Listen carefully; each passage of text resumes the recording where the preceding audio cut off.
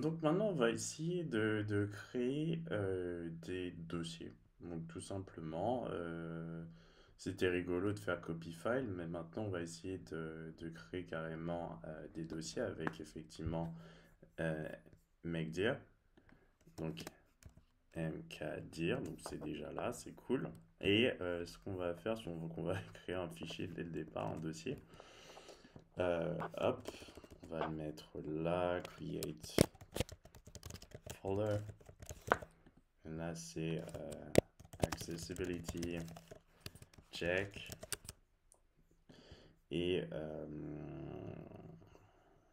accessibility check. Et euh, là, c'est euh, opening.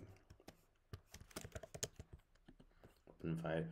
Donc, let's create a folder and let's say copy file. Et là, c'est let's create a folder. Donc, let's go. Là, on va enlever ça. Hop. On va supprimer, delete la copie. Donc, ça va le faire de toute façon, mais bon, c'est pas grave, ça va, ça va être drôle. Et là, on va créer un folder. Donc, comme d'habitude, euh, effectivement, ça attend quelque chose. Donc, ça attend surtout un chemin et possiblement des options. Donc, euh, nous, on va essayer de faire ça assez simplement.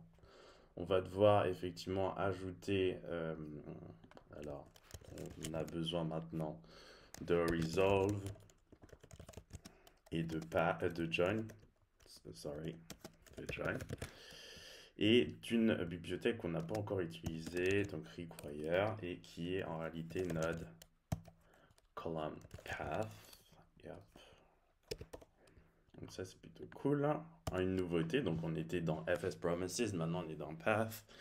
Et on redescend et on va créer ce folder. Donc évidemment, euh, toujours avec euh, des fonctions euh, asynchrones. Hein. Là on va appeler une const qui, va, être par exemple folder. Je vais l'appeler comme ça. Égale join, évidemment. Et on va utiliser une constante dir name. Et en fait, on va appeler ce dossier test. Et hop. Et project. Project. Comme ça on aura le dossier. Hmm, d'ailleurs je devrais même carrément l'appeler. Hop parce que si on regarde bien join alors, non, non, je me suis pas trompé. Alors, folder join. Euh, alors, est-ce que j'ai... Ah, mince, trop bête. Hop, dire name project. Donc, là, évidemment, ça nous renvoie à ce dossier-là et on va créer un dossier project. Donc, c'est parti. Ensuite, on va faire la const on va l'appeler folder creation égal et évidemment un await. Donc en fait j'aurais pu mettre ça dans un try catch pour pas changer les bonnes habitudes. Hop, hop, hop, hop. CTRL V et un catch. Hop. Try catch. Alors qu'est-ce qui se passe? Oui, c'est parce que j'ai pas fini d'écrire. Là, j'utilise effectivement ce que j'ai euh, importé, donc euh, de FS Promises. Donc là, j'utilise mkdir et euh, je mets effectivement à la creation la mkdir de folder, besoin.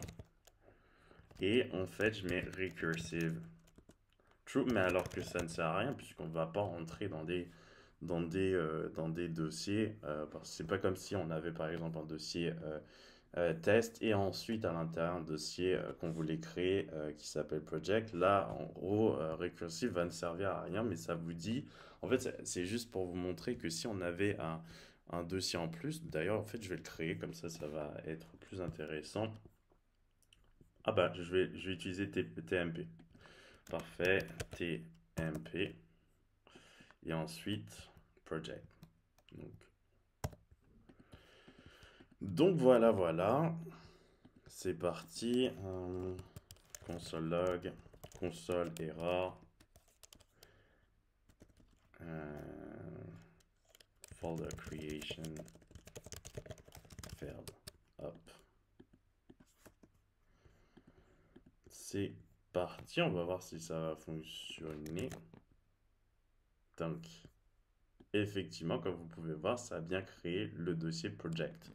Dans TMP, on peut effectivement créer un autre, on va dire project 1. C'est parti. Donc là, effectivement, il y en a deux. Donc il y a Project et Project One et ainsi de suite et ainsi de suite. Donc c'était ce que je voulais vous montrer euh, ben, dans cette vidéo, comment créer un dossier euh, de manière assez simple en utilisant mkdir de FS Promises et effectivement en utilisant join. Donc on n'a pas utilisé resolve. D'ailleurs, on aurait pu c'est ça qui m'étonne, c'est qu'on n'ait même pas eu besoin. Euh,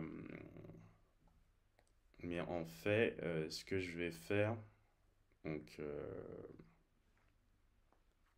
non, c'est bon, en fait, c'est pas grave. c'est ça a été fait correctement. On n'a pas eu besoin d'utiliser effectivement Resolve, bah tant pis.